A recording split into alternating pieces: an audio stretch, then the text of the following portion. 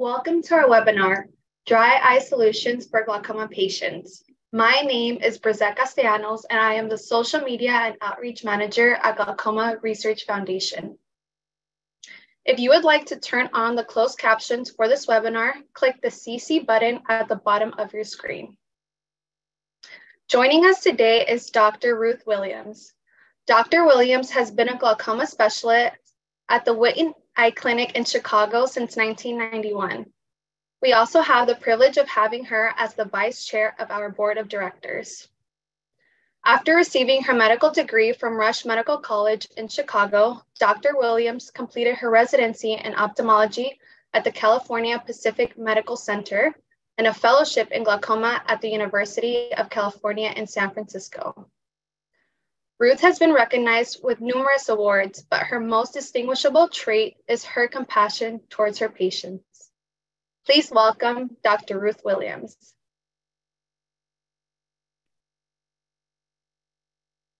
Thank you, Brizette. I'm so happy to be here today with you and with all the participants. Many of you have glaucoma, and many or a family member uh, or friend with glaucoma. And um, I'm glad we're together to talk about dry eye and glaucoma. This is a picture of a patient with dry eye disease just before I checked her intraocular pressure. When we put the fluorescein in the eye to um, get the, the eye pressure, I almost always take a look at the tear film. And I've learned a lot over the years of looking at the tear film over and over again. This particular patient um, has a lot of dye uptake in the epithelium, which is a little denuded. And I describe this to my patients as it looks like someone threw a handful of sand at your eye. And often that's what it'll feel like to the patient as well. So, one thing I like to say to my colleagues if we're talking about dry eye and glaucoma, I say, oh, everybody with glaucoma has dry eye syndrome. And that, that's actually not quite the truth. But if we look at the data, if you look at multiple studies that look at the percentage of dry eye in the general population, it runs between about 5% and 50% of people have dry eye syndrome. Whereas if you look at a population of glaucoma patients, the, the various studies quote between about 40% and 75%. And so you can see that dry eye is much more common in our glaucoma patients. So the question is, why is that? And there are several factors that contribute to that. And one is that the prevalence of glaucoma increases with age. So, glaucoma is an age related disease, which means that it's more common in people as we get older. And the second part of that is that it's also a chronic disease. So glaucoma tends to get worse as or tends can sometimes get worse or be more of a challenge as we age. And the same is true of dry eye disease, that it's more common in people as they age and it's a chronic disease. So it may get more challenging to treat over time. And what's interesting about both glaucoma and dry eye disease is that we want to treat them effectively early, as early on in the disease process as possible. So, aggressively treating glaucoma early and dry eye disease early makes them less troublesome diseases later. But the really interesting thing about these two diseases, which are intertwined, is that the treatment of glaucoma often makes dry eye disease worse. So it's very challenging, and we have to work on the two uh, in tandem. This is another photo uh, taken just before a pressure check. And you can see here that there's not all that dye uptake. And yet the tear film isn't nice and smooth like we want it to be. And, and in this picture, you can see that the tear film's a little irregular. And we call this a decreased tear breakup time, meaning that you have a, right after you blink, you have a nice, smooth tear film, but that very quickly that tear film breaks down. And this patient might not complain that it feels like sand was in my eye, but this patient might complain that, you know, doc, my eyes just feel tired all the time. Or when I start reading, I can read for a while, but after a time, I just get so fatigued. And that's because the tear film um, isn't as as dense and lovely, and you get these little dry spots. Another common complaint from my patients with dry eye is that um, uh, my my vision fluctuates so much. So when someone says, you know, sometimes my vision's crystal clear, and other times I just feel like I can't see, I often that's a that's a clue that a patient might have dry eye syndrome. Another uh, very common complaint is that um, the vision's blurry. And I'll ask, well, if you blink, does it clear up? And if the patient says, yeah, when I blink, blink, blink, the vision clears up, then that's almost always a sign of an ocular surface problem and not something inside the eye, which actually makes me very happy because it's it's a problem or pathology on the surface that we can address and isn't a problem with the back of the eye, say in the macula or the retina. Why do we care about dry eye syndrome? Why is it a problem? And I really see three issues. And the first one is a quality of life issue. So if your eyes are fatigued or tired or you can't see, um, it, it, it's really about uh, quality of life and how you're experiencing life. You know, the more I think about what my job as a physician is, I think that more than anything else, it's about improving the quality of life of my patients. And it, people who who have a really healthy tear film don't ever think about their eyes. People with good vision, a healthy tear film, it, it's never something that enters your mind. So once you start having problems with dry eye, people start noticing it and thinking about it and feeling tired and having trouble reading and all the things we just talked about. But the other thing that happens is that if the eyes are dry, it can make using eye drops more uncomfortable. And so, either consciously or subconsciously, um, a patient might be less motivated to use eye drops if they're really uncomfortable. And when, you know, a drug I use a lot is uh, dorzolamide timolol. It's a great glaucoma drug and but dorzolamide has a little bit of a lower pH to keep it in solution. And so patients who take that drop are particularly sensitive to dryness because it'll make a drug that stings normally sting even a little more. And then dry eye can affect surgical outcomes. So there are certain surgical procedures that dryness can make more complicated. And in the way that these diseases are intertwined, surgery can also make dry eye a little more, um, uh, can make it worse too. So they all have to be addressed together. So just because nothing is easy or straightforward, dry eye disease isn't one disease. And actually, as most of you know, glaucoma isn't one disease either, but a collection of diseases. And dry eye is a collection of diseases and actually interplay with some other problems. And this first picture is of the meibomian glands, which are the, the glands that are along the eyelid margin, just at the base of the eyelashes. And they can sometimes get inflamed and have a turbid, kind of yellowy discharge, or in this case, the picture you see here, kind of a thick, whitish discharge. And that inflammation can exacerbate dry eye syndrome and make it worse. So, so sometimes your doctor will talk about treating your meibomian gland disease in concert with talking about treating the dry eye disease. Or in the second picture, the crusting that you see is blepharitis, which is another eyelid ocular surface problem that can make dry eye disease worse. So we end up talking about sometimes your will talk about it interchangeably dry eye disease, blepharitis, meibomian gland disease. Sometimes we call it meibomitis. But all of those things together, we call ocular surface disease. And so anything that affects the ocular surface also affects your treatment of glaucoma.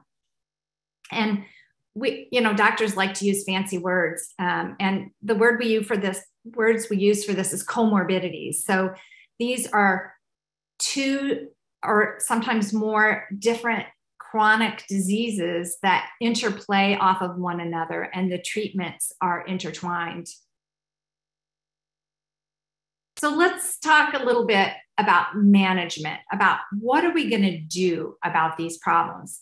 If you look at this picture here, you can see that this person has a combination of that, that punctate staining, that sand in the eye look, and a disrupted tear film. And so we're going to talk a little bit about treating the dryness, and then we'll talk a little bit about how to treat glaucoma to minimize the effect on the tear surface. So we all know about artificial tears, but I'd like to tell you a little bit about what I call the thin, the medium, and the thick. So the thin artificial tears are the ones that you drop in and your doctor tells you to use them uh, we might say four times a day, or if you're really having a lot of dryness, we might say more often. But it comes out in a drop and it doesn't blur the vision very much.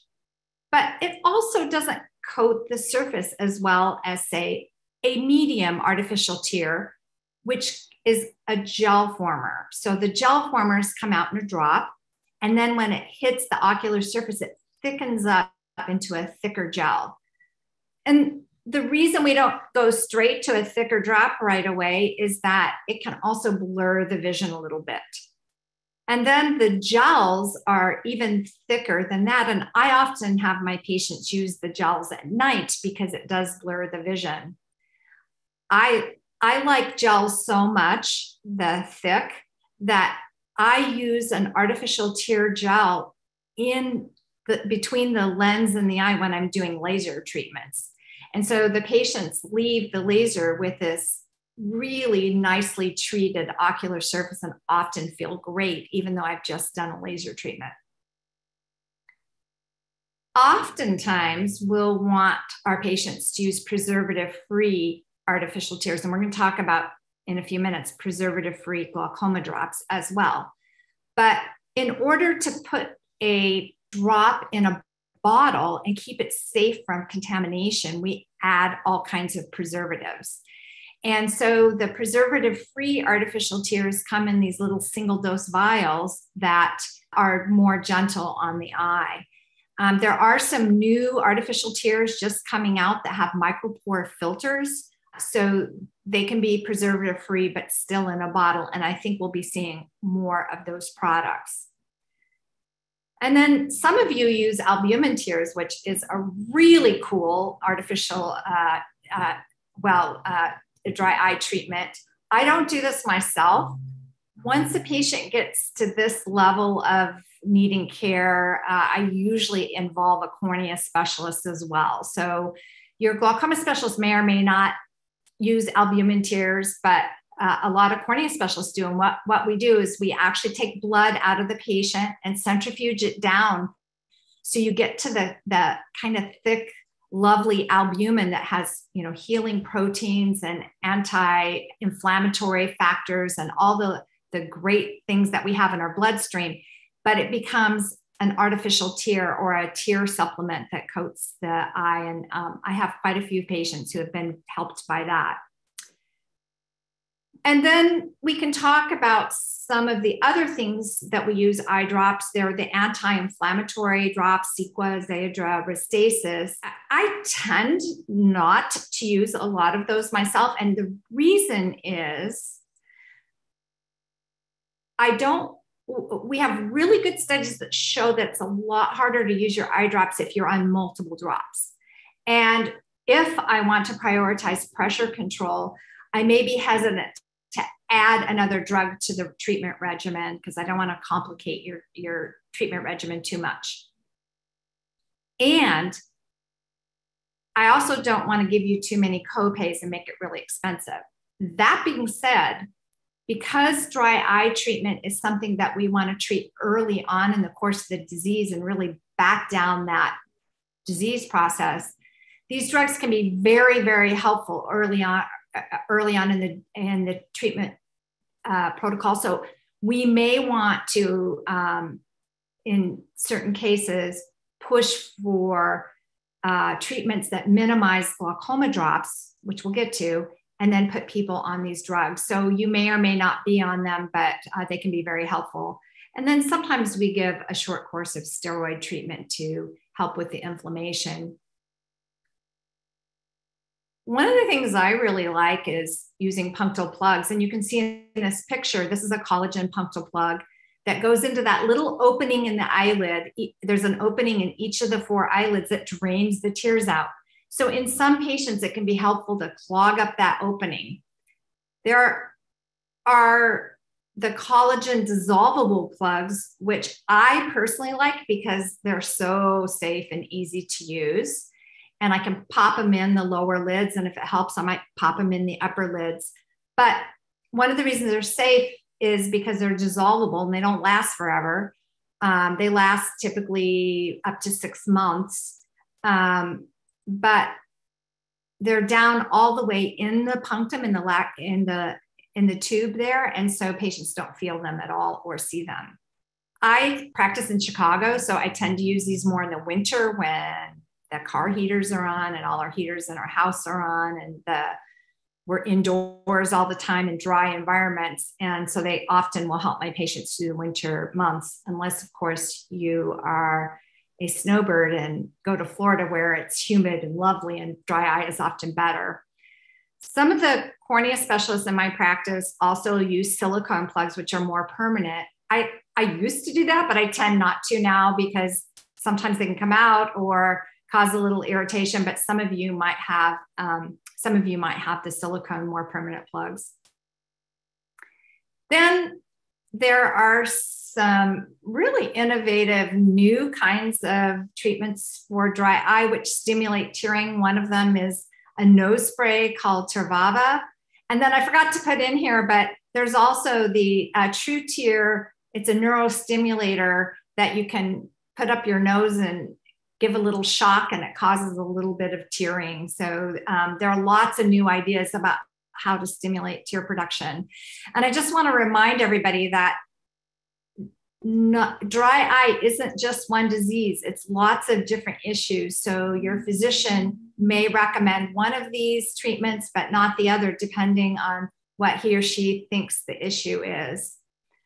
And then the, the, the other treatments that I have here in the, in the lighter, um, in the lighter gray color are all things that we use to treat the diseases I talked about before that contribute to dry eye. Um, the meibomian gland disease and the blepharitis. So, for example, your doctor may ask you to use warm compresses or a Bruder mask to help warm up that oil in the oil glands and get it cleaned out. I really like cleaning the lids every day and do it myself with um, there are a bunch of different products and i'm only mentioning a few of them here. Um, there are sprays that you can use or pads like ocusoft or evisia there's a bunch of others as well. Avenova um, is a product that can be used. Oftentimes i'll put my patients on a dose uh, a, a 30 to 60 day uh, dose uh, course of low dose doxycycline. And what that does is it helps improve the functioning of the meibomian glands and it can really help clear up the, the lids, especially if you've had meibomian gland disease for a long time.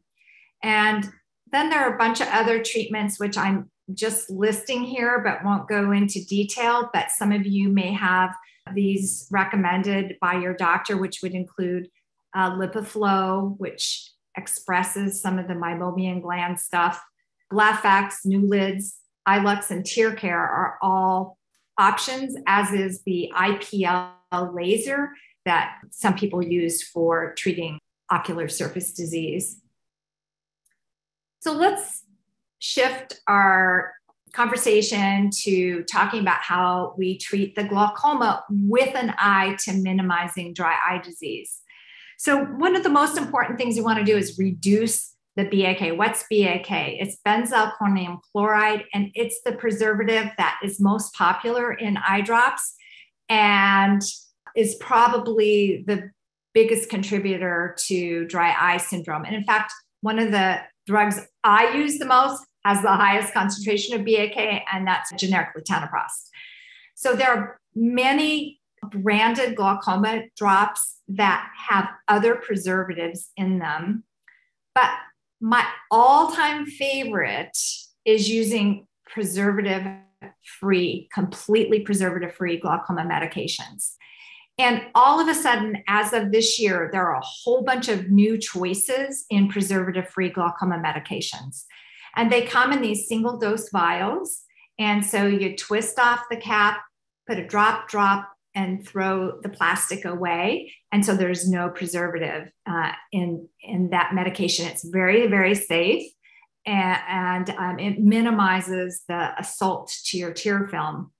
I'll, I'll, just put a side parentheses. However, those of you who are um, really interested in decreasing plastic and waste, this is not my favorite part of this treatment, but we have to prioritize, you know, what we're doing right now. And so for me, taking care of your ocular surface trumps the uh, plastic waste. But what I'd really love to see is uh, products that uh, don't have plastic waste. The other thing I'm very, very aggressive with my patients is to minimize the number of drops. The less chemical I'm putting on the surface of your eye, the better your tear film is going to be. So I let I like to give you the very least that we can, and there are different ways to do that. Um, but one of the ways are what's called fixed combination. So there's more than one drug in one bottle. The, the other reasons to do that is you're more likely to take your medicines if I don't have you on a lot of medicine, and uh, you'll have fewer, fewer copays. So it's less expensive usually.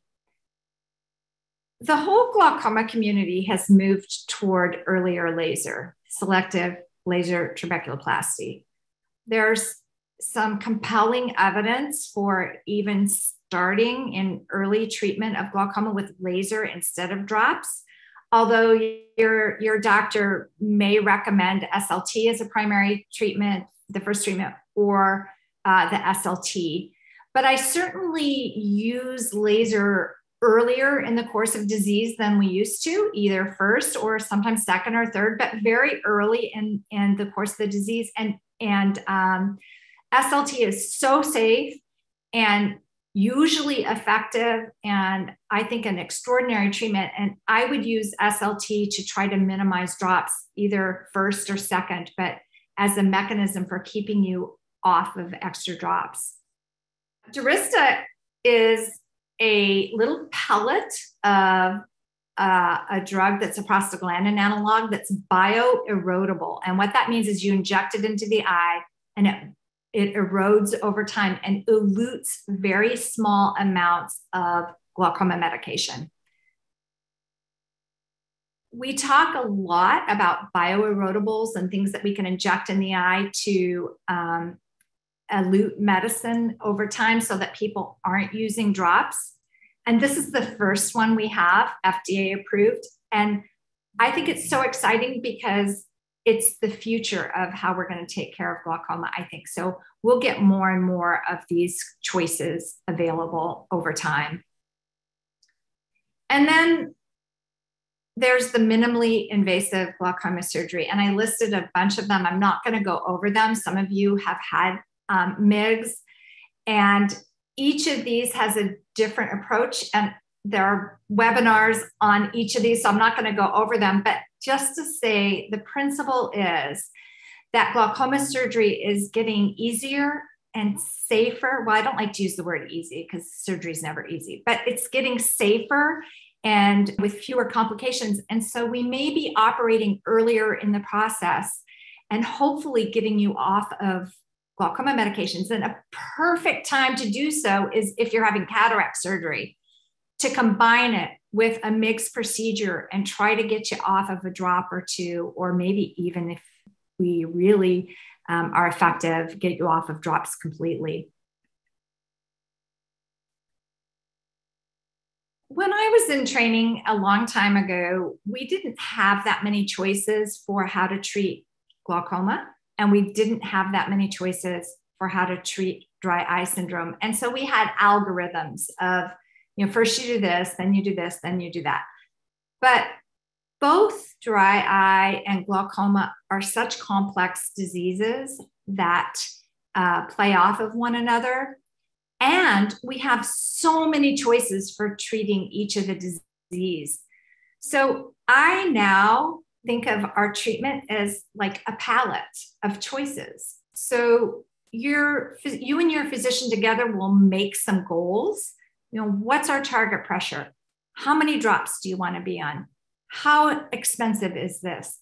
What what are your long-term goals? How do we keep you seeing until you're 104? Those are all the kind of questions that we should have together and make goals. And then we'll go to our choices and put together a treatment plan that is tailored just to you. And another reason we need lots of choices is that we don't cure dry eye yet. We don't cure glaucoma yet. And so we are not going to get rid of your problem, but we're going to help you manage it. And so we'll do that together um, with different choices. So if if what what one person get treatment choices um, and the things that are tried will be different than another person, and we may try multiple things until we land on what works best. One thing I think that's really important to understand or to talk about is our community of ophthalmologists together. When you come in the room, you are one patient and you get our full attention and our full care. But behind the scenes, we're talking and thinking and gathering evidence and trying new procedures. And working as a community to come up with solutions that work better for our patients. And I love the conversations that go on at our meetings. And it's not just the physicians, it's industry is working to come up with solutions for glaucoma.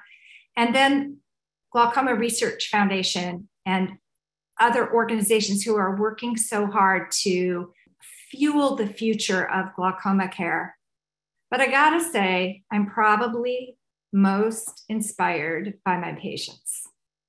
You are dealing with a serious, well, sometimes several serious eye diseases that are chronic and progressive. And you bring to us stories of gratitude and overcoming and I really, it really is rather remarkable to me. And I love participating with you in your care, and your doctor does too. And in closing, I want to share something I've been thinking about actually just for about 24 hours. And that is the difference between optimism and hope. When I was a young physician, I had so much optimism, which I think is kind of thinking, oh, here's my patient. I can fix their problem. I can do this. I can do that. And yet, after over 30 years of glaucoma practice, I have so much. I, I think I've been sobered by the, the disease of glaucoma and mm-hmm. dry eye, but especially glaucoma, because it isn't something we cure and get rid of. Again, I'll say, at least not yet. It's something that we it presents challenges to us and we have to keep going. But hope is something that allows us to tackle our problems together. And it gives us inspiration for the future of what we're going to do. And Glaucoma Research Foundation is so much part of that because they have this vision for vision restoration and curing glaucoma and strategies for going for that vision. And I think together we can have hope that your disease and your story is one that'll be okay. And that it might not go perfectly. And you might even have a complication from a surgery or a drop that didn't work or dry eye that's getting worse and driving you crazy. But together, we'll tackle those problems and find a solution that gives you the quality of life and when you have quality of life, then we can enjoy it and be inspired and embrace the day that we have this very day. So thank you. And Brizette, I'll turn it back over to you for Q&A. Thank you, Ruth. That was amazing. And thank you to everyone who has submitted their questions. I would like to start off this discussion with the following question What are some of the most common symptoms of dry eyes? You know, it varies from no symptoms. So sometimes people can have pretty uh, dramatic findings at the slit lamp, and I'm really concerned, and the patient has no symptoms. And by the way, parentheses, that's a little bit like glaucoma. Sometimes I can be extremely concerned about someone's optic nerve and that they, you know, the patient might not be experiencing the glaucoma yet.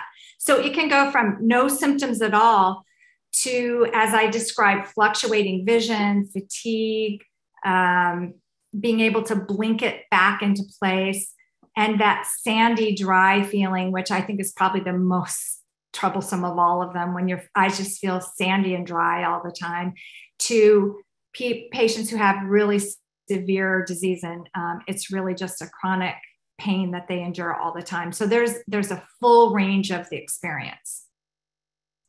Thank you. Are there any natural solutions to dry eyes? For example supplements um, maqui berry uh, zeaxanthin yeah so we actually have some evidence, uh, evidence base, which of course is a little challenging because everybody's story is different, but uh, we have often recommended omega 3s. Uh, there was actually a study, a really big dry eye study, and shockingly, the omega 3 treatment group didn't do any better than the others, but some of us really think it does help. Uh, a diet, I think diet is, is enormous. I think I think our diets are very important. So a Mediterranean diet is the best. Um, um, a lot of people, a lot of people who are expertise experts in diet and the eye will tell you that you should have fish a couple times a week. Um, but I think the most important thing is uh, diet high in fruits and vegetables. And I, I there's also good uh, data around neurodegeneration, Alzheimer's, macular degeneration, and cataracts that it matters. So I'm a huge proponent of switching to a more plant based diet. Um, what are some of the names of the newest preservative free drops, if you know of any? Well, so the the ones that we had available, well, there was Ocudose, which was timolol, and then there was Zioptan, which um, is a, a drop um, that's preservative free, and then Cosopt PF, preservative free. Those, uh, the Zioptan has a generic alternative now. Uh, the Cosopt PF has a generic alternative, and latanoprost has a preservative free alternative now. And some of that's new since January. So my patients are just starting to be able to get it in the pharmacy. And you mentioned some gels. Are there preservative free forms of those gels? Oh, I don't know the answer to that. There might be. The gels that I use aren't preservative free, but I'd actually have to ask a cornea specialist that question. Alrighty, we'll get back to you guys on that. Um, you mentioned some drops. Um, are any of those over the counter? And how would you rank their effectiveness? So the artificial tears are all over the counter what I tell my patients is go buy a bunch of them. I talked about the, the thin, the medium, and the thick. Go buy an assortment of them and try them. So, what a lot of my patients find is that in the morning they might want to use one thing, in the afternoon, something else. But what's most effective is what works for you. So, what relieves your symptoms, what helps you um, see better. And one thing I, I have to say anytime you have a lot of treatments, you don't have one really good one. So I would say experiment with it, try it. There's not one that's the best. So that means that they can use them as often as they'd like, or is there a limitation to how many drops they can use daily? So the only risk to using artificial tears um, all the time are the ones that have preservative in it. So if so I tell my patients use your artificial tears all the time. In fact, you should be using them way more than you use them. But if if you're really going to use them a lot, I would encourage you to try a, a preservative-free formula formulation. Thank you. Do you recommend your patients use the nano dropper to reduce drop volume and therefore possibly reduce the side effects from glaucoma drops? Yeah, so the nano dropper is really um, interesting um, device that you can buy and put it on your on your bottle. And one of the things, you know, patients often say, Oh, do you think I'm getting enough of my drop in? And I always say, Yes, you are, because the drop size is much bigger than you need to get maximum absorption of your drug. So even if you get a portion of your eye drop in, it's fine. But what nano dropper does is it decreases the drop size so that the bottle lasts longer. And what I think the person asking the question is suggesting is, you know, maybe you're just getting less chemical and less preservative in the eye with nano dropper. Great, you know, it, it's it's a great tool. Amazing. Um, what is the most effective regimen when it comes to using artificial tears and glaucoma drops? Um, should you lubricate before the glaucoma drop or after?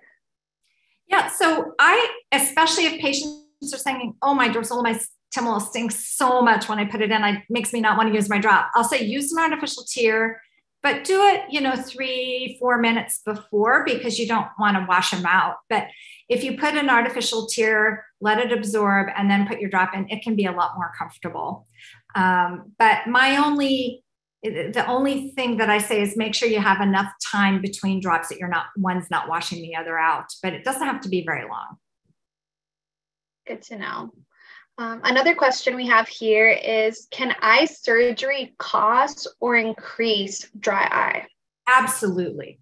So, um, we didn't talk uh, today about, for example, a trabeculectomy or even a tube. So, those have an external bleb or an external um, reservoir that changes the shape of the upper eyelid.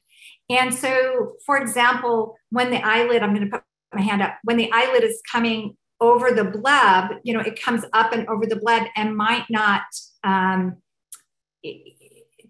you know come down over the the cornea effectively. So that can cause dry eye or exacerbate dry eye. But any kind of surgery because you're cutting into the surface of the eye can make dry eye worse. So if you have uh, serious dry eye disease and need surgery it shouldn't stop you from doing it but just talk to your doctor in that perioperative period about what you need to do to uh, support the dry eye. Good to know what about screen time? Can screen time affect dry eye? One of the problems with screen time is that, especially if we're being very intense, is that we might not have as much blink. And so, yes, screen time can um, can make can increase dry eye symptoms and, and findings. A couple things. I often tell my patients take a break from your screen look outside at a distance, take a break, relax a little bit. Um, the other thing is, especially if people tell me, oh, I'm blurring when I'm on Zoom for a long time, stop, put in an artificial tear, close your eyes. Um, but I've learned a long time ago not to tell people to limit their screen time because nobody does. um, and lack of sleep also contribute to dry eye. Lack of sleep? Oh, yeah. I so I talked about diet. I think diet's very important. Diet, not smoking, getting regular sleep is really, really important. Definitely. Your eyes are resting, they're rejuvenating, and uh, it's it's just contributing to your overall health. For someone who has tried um, a lot of the usual treatments for dry eye but haven't found a solution, what do you recommend for that person? A cornea specialist. that's what I do. You know, I talked about the albumin tears. That's a level of care for dry eye that's beyond my expertise. And so we have people who are, we call them cornea and external disease specialists, and they're amazing and, and can come alongside the glaucoma specialist or the general ophthalmologist to give extra support and maybe some suggestions that we might think of. I will say that I never refer somebody without doing the low hanging fruit first. For example, the first thing a cornea specialist is going to tell me every single time is put them on preservative free drugs. So I don't even send you until I've done that. Um, but once we do the basic things and you're still really frustrated, um, we, we need another specialist to help us with this. By the way, that's what I love about ophthalmology is that we have all these subspecialists. And so we have people with incredible expertise and we can work as, as a team. Awesome. So this is something that a patient can bring up to their glaucoma specialist. Definitely. If you're feeling frustrated, um, and you've tried a bunch of things, most of us are very happy to bring in someone else uh, as part of the team. We don't take care of chronic disease all by ourselves, we do it as a team. And so you mentioned that some people who have dry eye might not know it. What mm-hmm. can happen if dry eye is left untreated? So, dry eye can become chronic disease. So I showed you that first picture, you know, where the epithelium was breaking down. You don't want to let the disease get that far. So sometimes there are underlying chronic inflammation if the eyelids are inflamed. Um, so if if your physician says, you know, you have some symptoms of dry eye, um, it's important to treat early. And as I mentioned, some it, it, depends what's causing it. So I don't want to get too much into treatment, but it's very much like glaucoma in that we want to treat it early. It's easier to take care of if we tackle it early. Awesome. Um, there's a question here about mineral oil artificial tears. Are you familiar with those? Yeah, yes, I am. So again, um, so there are artificial tears that have more of an oily base to them. And it depends a little bit on what's causing it. I didn't get into all the complexities of dry eye. So there are three layers of the tear film, and you, depending on which layer has the pathology, different kinds of uh, artificial tears may be um, more helpful for you. So it's something your doctor can help you with, or you can experiment with on your own and see which ones help the most. Got it. Thank you. Um, can you tell us a little bit more about the pulse light laser and its effectiveness? Yeah, so IPL um, is a treatment for the eyelids that have chronic inflammation or meibomian gland disease. And not everybody offers it, but it can be very helpful in clearing up those eyelid inflammation, which secondarily affects the dry eye. So IPL can be very helpful. And when someone has that at that point, they are experiencing symptoms, or is this something that would be brought up to their attention by their ophthalmologist? I think it depends a little bit on what the ophthalmologist thinks is causing the problem. I think most of us would try simpler things first. Um, I think most of us would try, you know, lid scrubs or um, the lid sprays or the pads. I really like the pads um, warm compresses, artificial tears. Most of us would start there first. But if that's not tackling the problem, then we might talk about things that are procedures and you know take more time and effort and are more expensive. One thing that came to mind as you were mentioning the pads is makeup. Women wear mascara. Um, do you think that can have an adverse effect on those glands? So um, uh, my patients ask me about makeup all the time, and I say, wear the makeup. Um, gosh, you need it. As we get older, we need a little makeup. So wear it, get a little color on there. But I do advocate cleaning your face really well at night. And what I recommend is that people do, you know, general cleansing. And then after you've cleaned the makeup off, take, you know, one of those pads, an Invisia pad or an OcuSoft pad or Sterilid or whatever you have. Uh, there are many other brands too, and use that to clean the eyelids um, when you're done. You want to go to bed with your eyelids all clean and nothing there causing inflammation while you sleep. Got it. Thank you. Is PRP the same as Albin? Albin in eye drops? Um, P- PRP, I'm not sure what that really. Uh, can you tell me the um, PRP. Yes, I think um, it relates to what you mentioned that is extracted from the blood mm-hmm. and then put back into the eye. Yeah, there are several different products, and again, I you know I don't personally do that, but uh, we have um, in our practice we have quite a few glaucoma specialists and they manage that and recommend it. And each doctor has a different um, uh, a different favorite. So um, I don't know all the nuances of it. I just think it's in, it's incredibly helpful for severe uh, uh, dry eye disease. And I have quite a few patients who do use it. It's a lot of trouble because you have to go and you know get your blood drawn and um, um, you know there's effort involved. But if you have chronic pain and your eyes are bothering you every day, it's worth it. And PRP is platelet rich plasma. That's the, okay. Thank you. Yes. no problem. I wasn't sure either. Um, so, if you do have severe dry eye, is it possible to reverse some of the damage, or is it something that once it's there? Yeah, well, it depends what the damage is, but yes, absolutely. For example, the epithelium on the eye, that front um, layer is like your skin in that it's constantly regenerating and it regenerates less robustly as we get old. So we want to protect it. But yes, it, all that staining that you saw on that first slide, that can be regenerated and um, get to be a healthier, uh, a, a healthier look. There's hope. There's so much hope. um, so you mentioned blinking as a way to, you know, help irritation when looking at a screen. Are there any other eye exercises that can help?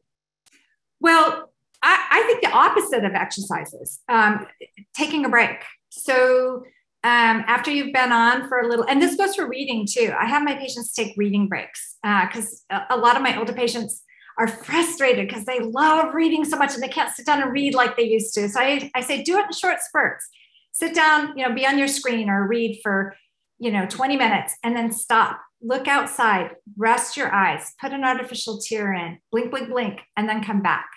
I think also I mentioned, you know, the intensity. Uh, if you stop and rest, you're you're taking a break from the intensity of it. Definitely in moderation always. Um, we have a question here about heated and electric eye pads. Um, are they good for you? Do they help dry eye? And if so, how long should patients leave them on? So there are a number of different ways to do heat treatments to the eye, but the principle is, is that you're heating up those meibomian glands and helping uh, get that oil going through and cleaning out. And um, the old fashioned way, and a lot of my patients still really like doing this, is just a hot compress. So you run a washcloth under hot water. I always say just hot enough so you're not burning yourself. Wring it out, fold it up, and put it uh, on your eyes until it cools down. But you want it to be pretty warm. And I encourage my patients to use this as a you know form of meditation. We're all told we're supposed to meditate, which I'm terrible at, but if you can lie there and rest with your warm compress. But you're right, there are a bunch of different products. A lot of them are available online.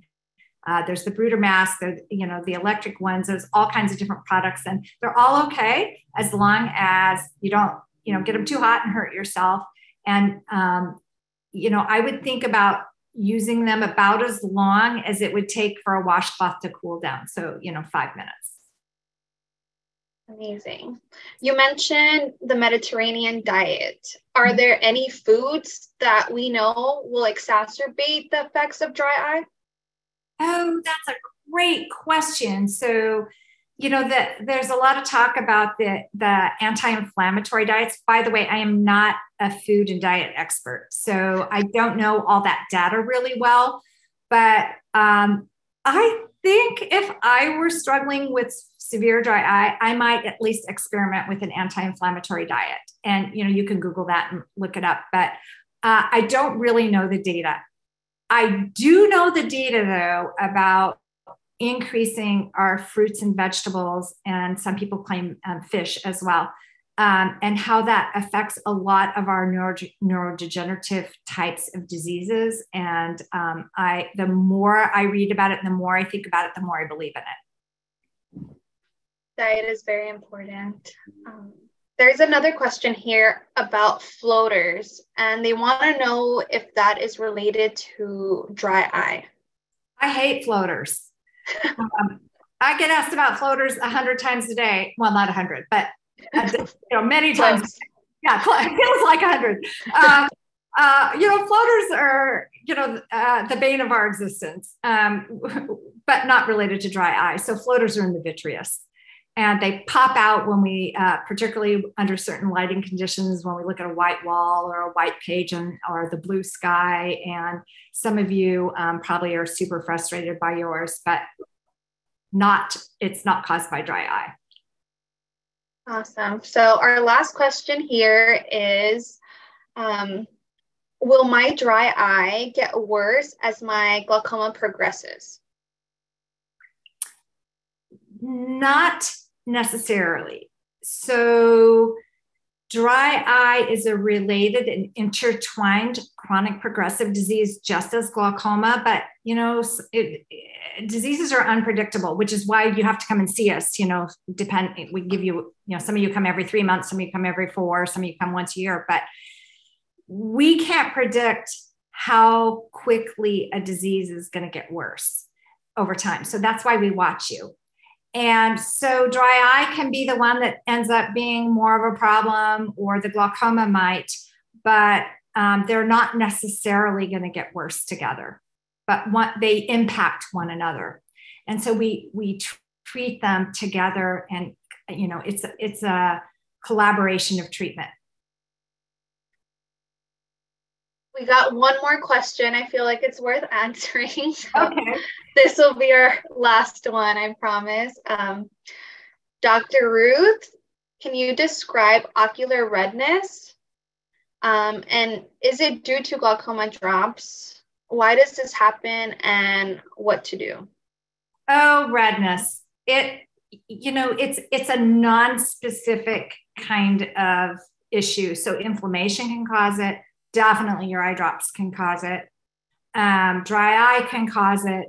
All kinds of things can cause red eye. And sometimes I'm going to tell my patients, you know, you're just going to have to accept a little bit of red eye as part of your, you know, necessary. Um, other times we'll work really, really hard to get rid of it. There is an over the counter uh, drop. It's actually dilute glaucoma medicine. It's dilute brimonidine that will take some of the red out temporarily. You shouldn't use it every day, but if you're going out for the evening and you really want that crisp white look, you can use a little bit of Lumify in the evening, but uh, or in the day. But um, um, redness isn't specific to glaucoma or specific to dry eye. I'm actually familiar with that eye drop. It's um, kind of big in the makeup community, believe it or really? not. yeah. Um, and it's by BNL, right? Bausch and Lomb, Lumify. Yeah. Alrighty, well, thank you so much for making time to be with us today. We hope that all of you have learned some helpful tips to manage your dry eye. Thank you, Brizette. It was great talking with you. Thank you, Ruth. Before we leave, I want to let you know that we have our fifth Glaucoma Patient Summit coming up on June 23rd and 24th in Long Beach, California. For more information on that, please visit our website at www.glaucoma.org slash summit. We have an amazing program planned for you, so please join us and register today. Thank you once again for being here with us and for joining us in our bold vision of a future free from glaucoma. Because of you, the cure is truly in sight.